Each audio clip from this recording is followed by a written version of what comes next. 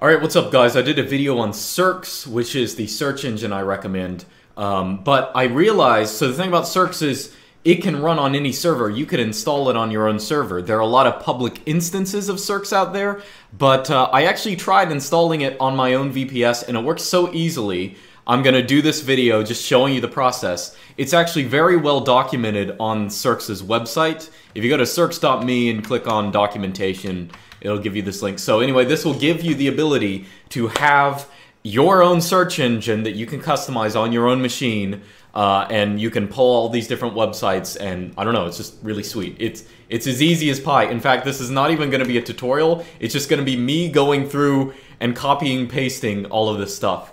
So I, I should say there are a couple things you want to have before you start. Um, I've tried doing this on Debian and Ubuntu. I will say that their instructions are better, better for Debian servers. Uh, Ubuntu's repositories are a little different, especially like the Python stuff, or at least if you have a, a recent, uh, like the most recent Ubuntu release. Um, also, one thing you're going to want is you want to go to your registrar, whatever your registrar is. Mine is Epik, it's right here. And you want to go to your CNAME uh, subdomain uh, DNS like settings and you want to make sure, uh, in my case, I want to have my search engine at searx.lukesmith.xyz because lukesmith.xyz is my website.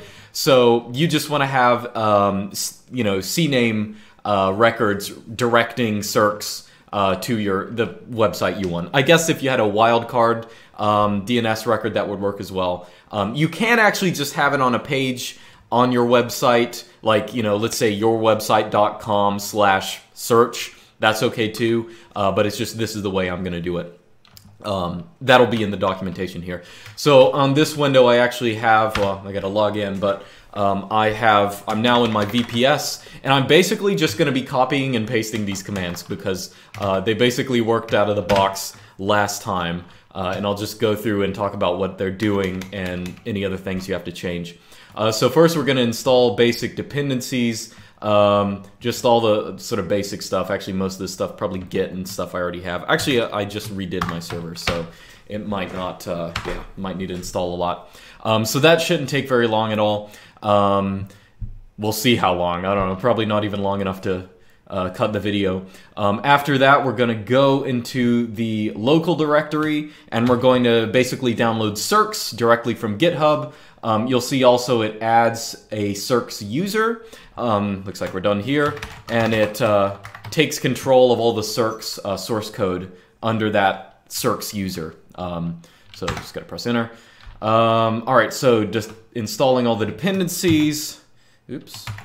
Uh, gonna go in there. Um, so now there should be a little dollar sign up. What that means is you have basic. You are now the Searx user, so you got to do all the stuff the Searx user needs to do. So I'm gonna copy these three commands, uh, setting up a virtual environment for Searx. That'll take a couple seconds. Uh, these commands on Ubuntu, if you have an Ubuntu um, machine, they might have to be a little different. You might have to download dependencies, stuff like that. I tried it on one of my Ubuntu VPSs, and it's just the the packages here are a little bit different. Uh, especially this command because it did, it didn't run on my um, Ubuntu install. Um, but after this, it's just installing like pip modules, like Python modules.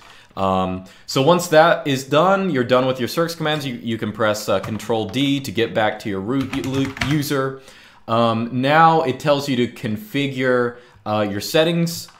So you can go into with whatever text editor you want. Go into the settings.yaml file, and there are a couple things you are gonna. Well, you don't have to really change anything. Um, you can change the name. I might change. Uh, maybe I'll you know say like Luke's, uh, Luke's Searx, or something like that. Um, one thing I well I think this is necessary. You you're gonna want to change the theme to dark. Duh. I don't know why this is not default, but uh, Logico Dev Dark. Um, and the last thing, they give you the sed command to run, and what it does is it generates a secret key for right here. Uh, but of course, we're not. We'll we'll just run that, so you know you don't have to see the results. Uh, copy all this. Didn't copy the S at the beginning, so okay. All right. So now that's done. So now it tells you you can check to see if it's working. Uh, just why not? So we'll do that. Web app, and I'm just gonna check. Okay, what does it see? Uh, no module uh, named requests. I might need a, oh, I might need to install uh, UWSGI first. I, I, might as well do that. Um, so I'll just do that first. Uh, I forget exactly. I feel like I ran into an error the last time I did this, but it ended up working. Uh, so install all this stuff, and it wants you to make a config file in this location. So I'm going to do that. Uh,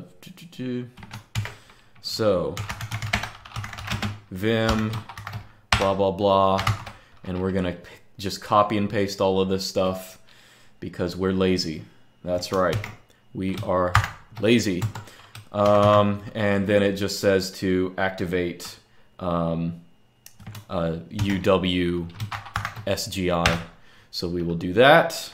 Now on our web server side, this depends on if you have a Nginx web server or an Apache web server. I tried both and I will say the Nginx works a little easier. Uh, I only recently switched over to Nginx. Um, so I'm gonna, anyway, I'm just gonna open this up. It wants you to make, of course, you know, for all your subdomains or websites, you're gonna have a separate config file. Um, so I will create mine here. You can see my internet's running a little slow.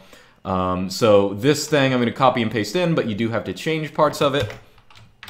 Um, you're gonna wanna change the server name. So what I did, look at that, so non-responsive. My internet is atrocious today. Um, while that's loading my key presses, I'll note that uh, I did put in two records here. One is for searx and one is for like www searx, whatever. Um, and I'm gonna add both of these in here. Wow, look at this. Okay, I might have to.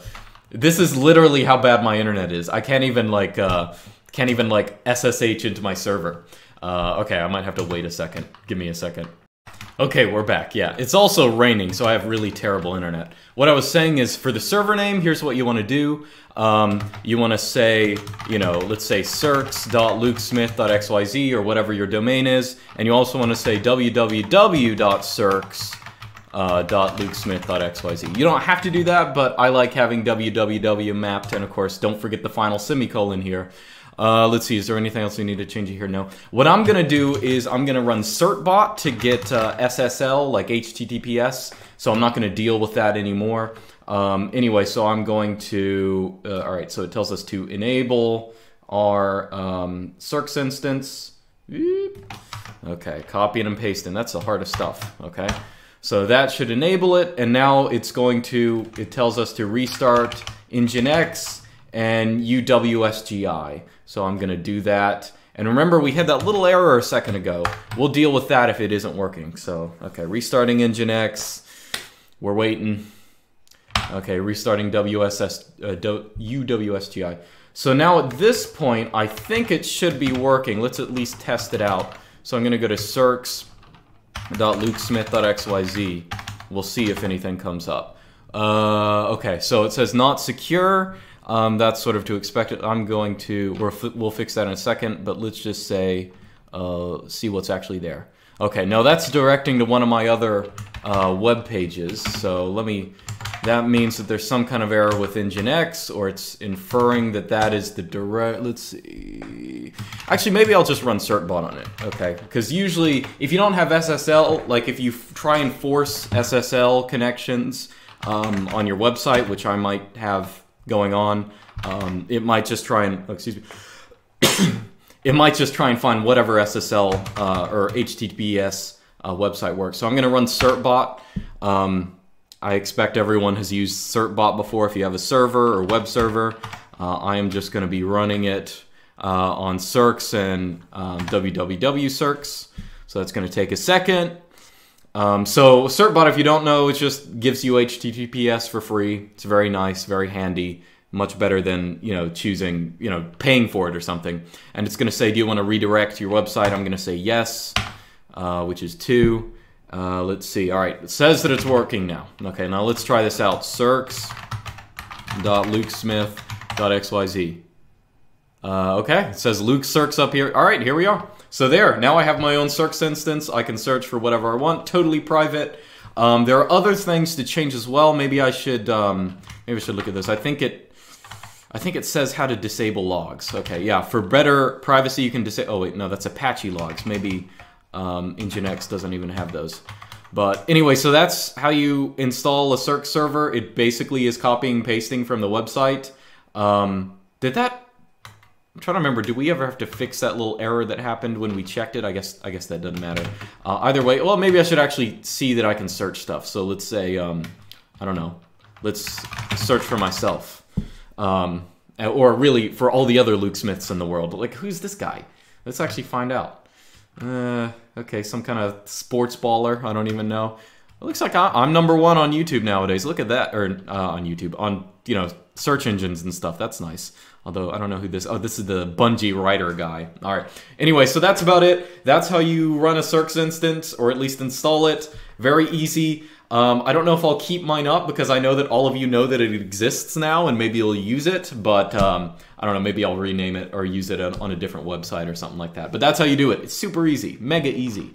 Um, all right. See you guys next time.